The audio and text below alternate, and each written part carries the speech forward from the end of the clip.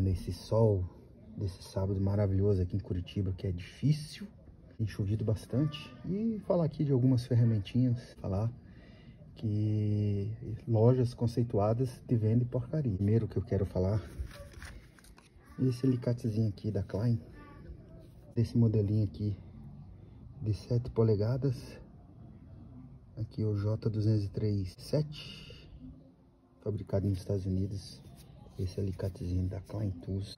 Poxa, isso aqui, cara, é uma mão na roda, viu? Cara, que ferramentinha espetacular, cara. E tá lá na, na net computadores ali, cara, dando sopa. Tem um de 6 polegadas que eu tava afim de pegar ele. O de 6 polegadas. Mas esse de 7 aqui já me atende tão bem.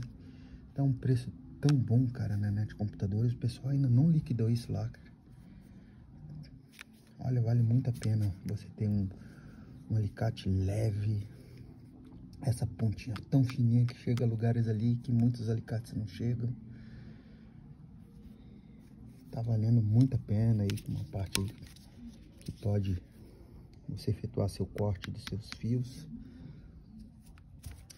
Eu acho que isso aqui tá sendo menosprezado aí pelo pessoal. Outra ferramentinha aqui que eu queria falar é esse, esse írimo que me surpreendeu, que eu uso ele bastante, pessoal. Não é um alicate de alta alavancagem, nenhum deles são, nenhum deles que eu tô mostrando aqui. Um írimo tá me surpreendendo esse menino aqui, cara. Na princípio, na primeira vez que eu comprei ele, cara, eu já tenho ele há muitos anos. Comprei ele bem baratinho, acho que por 70 reais. Esse modelo acho que nem vende mais na loja do mecânico. Esse modelo aqui é o de 200 milímetros, 8 polegadas. Uma ferramentinha que, olha, tá me surpreendendo, realmente me surpreendendo. Vale muito a pena aí, mas tá um precinho meio salgado. Parece que tem um de 7 polegadas lá na, na loja do mecânico. E esse, esse Lodestar Lodestar. Uma boa ferramenta, tá? Não tô falando, não vou falar que ela é uma, má, uma ferramenta ruim. O que que acontece? Esse alicate aqui é fabricado na China, tá? Aqui vem Japan, mas não é fabricado no Japão, não. Esse aqui é um alicate tipo japonês.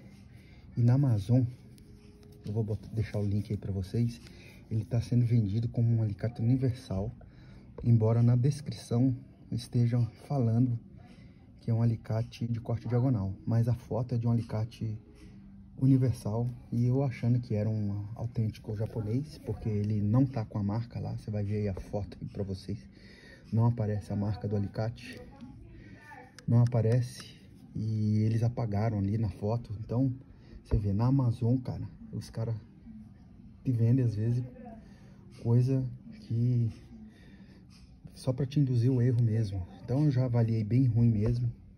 Embora a ferramenta é muito boa, muito boa mesmo, muito boa. Realmente eu não vou negar para vocês, mas pela falta de respeito ao consumidor, eu detonei o vendedor e ele não vai conseguir vender nada, né?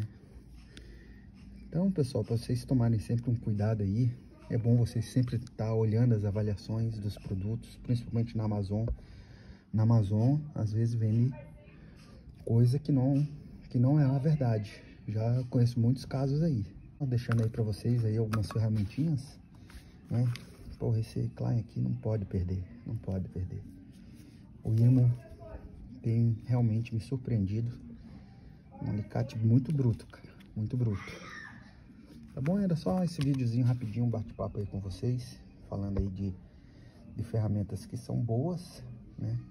mas que muitas vezes eles te vendem aí até na Amazon um gato por lebre te mostrando uma, uma imagem te levando ao erro embora que na descrição do produto realmente tenha escrito tem a descrição de um alicate de corte diagonal então era isso aí pessoal só fazer esse videozinho para vocês né? e espero que, que vocês curtam e não deixem de adquirir seu Klein na net tem muitos alicates bons lá hein?